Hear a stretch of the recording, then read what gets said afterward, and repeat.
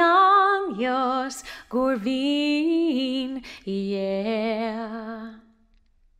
One happy birthday dot com.